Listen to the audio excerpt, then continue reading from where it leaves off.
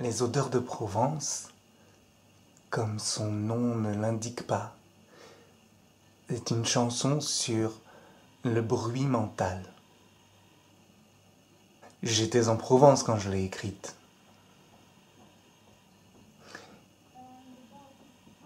Et je me suis rendu compte combien les différentes odeurs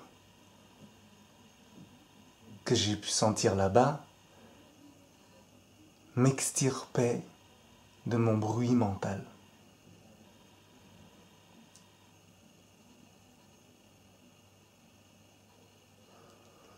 Et ça me faisait du bien, ça me détendait.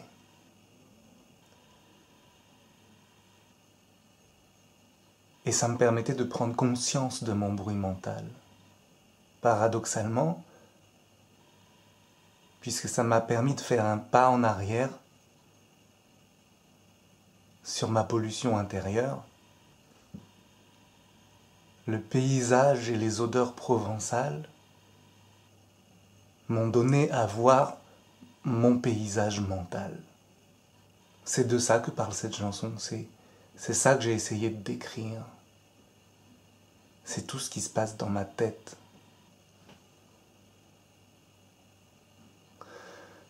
Tout ce qui se passe dans ma tête tout le temps. En permanence.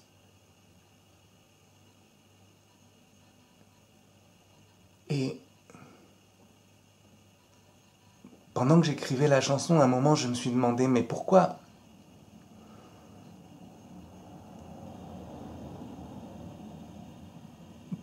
pourquoi seulement des odeurs? Pourquoi pas aussi euh, un, paysage, le bruit d'un accent du midi, toutes ces choses-là que j'aime beaucoup.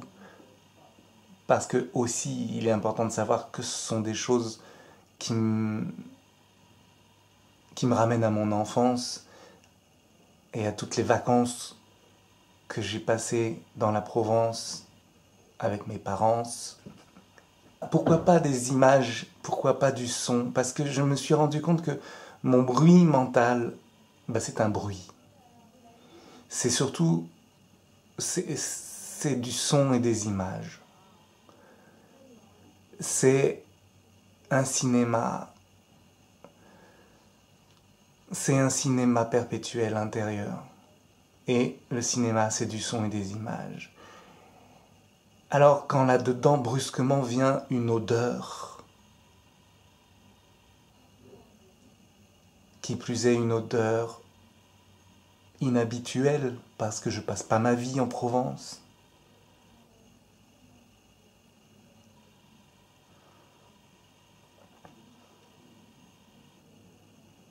une odeur chargée de, de souvenirs et une odeur que j'aime et une odeur vraiment vraiment particulière, vraiment vraiment forte. Un bouquet de basilic, ça sent fort.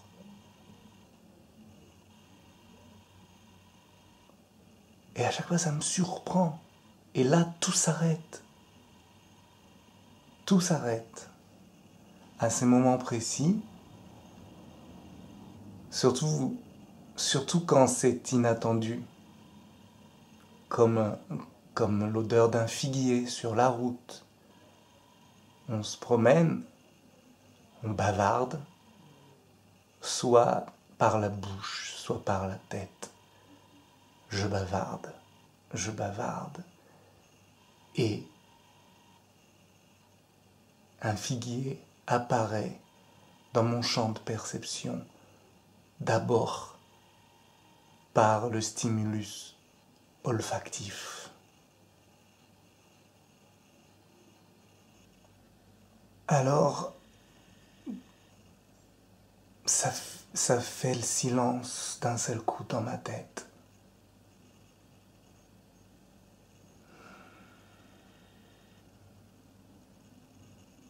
Et c'est ce silence qui me permet de prendre conscience du bruit qu'il y avait l'instant d'avant.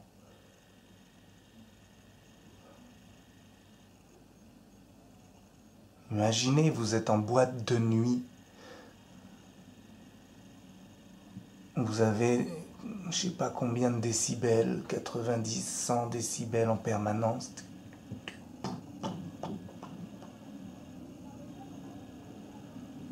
Et puis il y a une coupure de courant.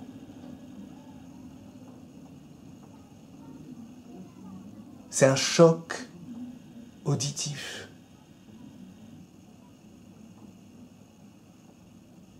D'un seul coup, vous entendez euh, une espèce d'acouphène.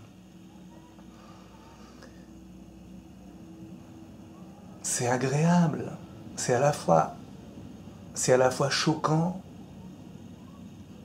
et agréable. C'est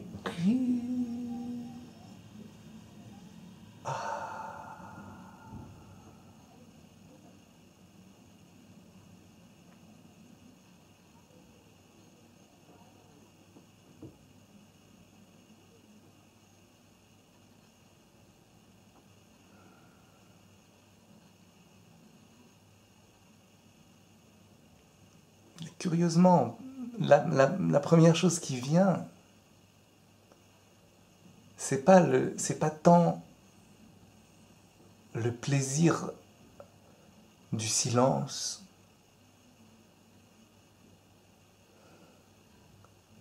que justement du coup le bruit qui vient de s'arrêter et qui brille d'un seul coup par son absence.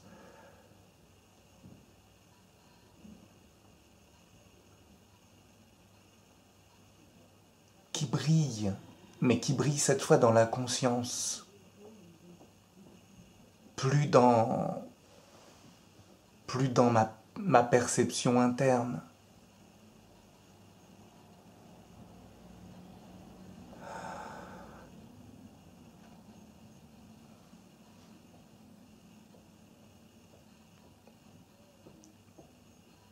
Et donc, euh, dans, dans, ces instants qui, restent assez brefs, parce que c'est très fugitif, un stimulus olfactif.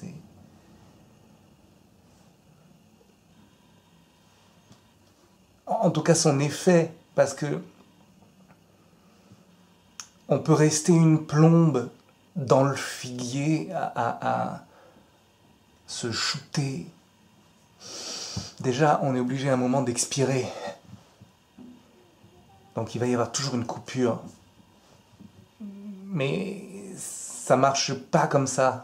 C'est le moment où il m'a surpris que l'effet fonctionne vraiment. Après, quand j'essaye comme ça de le garder, j'essaye de le capturer, je me rends compte que c'était pas lui réellement qui c'est pas parce que je vais en respirer plus que je vais réussir à maintenir le silence. Au contraire, je suis déjà en train de recréer du bruit en me refabriquant ce désir. Bon, donc ça marche plus, donc c'est très fugitif. Et voilà, et ce qui, caractérise pour moi ce moment fugitif, c'est que pendant ce court instant, j'ai hautement conscience de mon bavardage intérieur. Et c'est bon.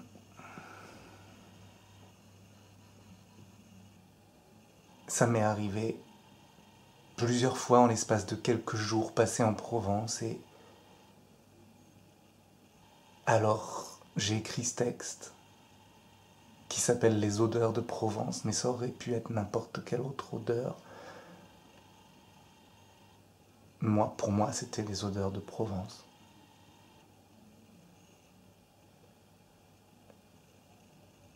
Et quelques jours plus tard, une fois revenu à Paris auprès de mon piano, j'ai mis cette musique dessus et je l'ai tout de suite enregistrée